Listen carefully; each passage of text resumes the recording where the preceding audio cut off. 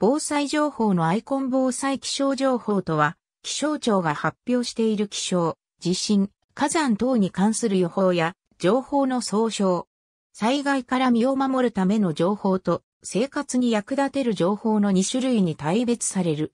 一方、過去の観測に基づいた情報は、解析雨量など一部を除いて、気象統計情報に分類される。2019年5月29日より、大雨警報、土砂災害警戒情報、指定河川洪水予報及び高潮警報を対象とした5段階の警戒レベルの運用が開始された。警戒レベル5は災害発生情報のため、警戒レベル4の段階で危険な場所からの避難を済ませる必要がある。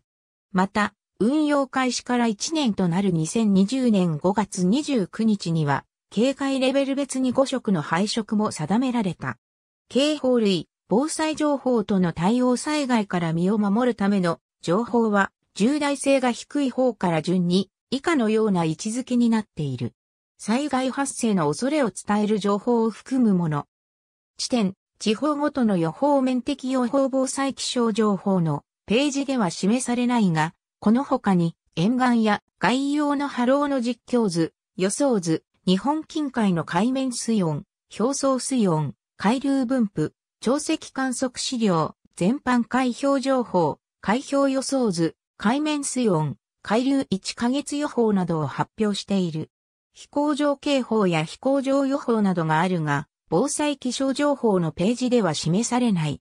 なお、緊急地震速報は、ホームページ上で発表という形式は取らず、過去の発表状況のみが発表される。災害の種類、あるいは同じ種類でもその時々によって、気象庁が発表する防災気象情報の種類やタイミングは異なる。例えば、同じ大雨でも、台風と集中豪雨ではその規模、持続時間、予測精度が異なるため、情報発表のタイミングも同じではない。発表が早すぎると予報が不正確だったり、受け取る側の危機意識が長持ちしない事態が起こり得る一方、発表が遅すぎると予報は正確で危機意識は高いが、防災行動が間に合わない事態が起こり得る。例えば大雨注意報、警報の発表のタイミングは、まず避難が必要な雨量の値を決めた上で、避難準備に必要な時間、防災機関の準備に必要な時間、伝達に必要な時間の猶予を見込みつつ、予報雨量などの精度が確保できる時間として、注意報、警報基準に達する2から6時間前に発表される。このことから気象庁は、災害から身を守る上で、防災気象情報を適切なタイミングで利用するよう推奨している。一方で情報の問題点もある。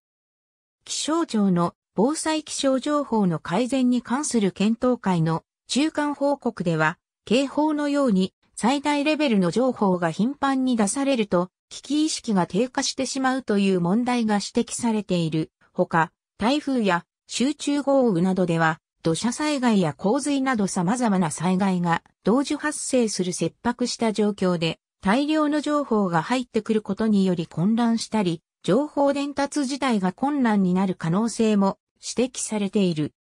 また注意報、警報が市町村単位になったことで、テレビやラジオで情報の切り替えを細かく伝達することが困難になり、マスメディアでのより効果的な伝達手段が検討されている。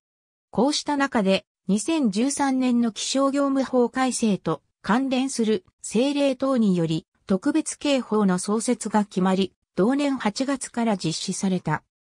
2013年9月の同検討会では、大雨や暴風など、レベル5を区分できない現象を除き、原則として、各情報を1から5までの5段階の危険度レベルに統一することが提言され、2016年をめどに実施される予定であることが報道されている。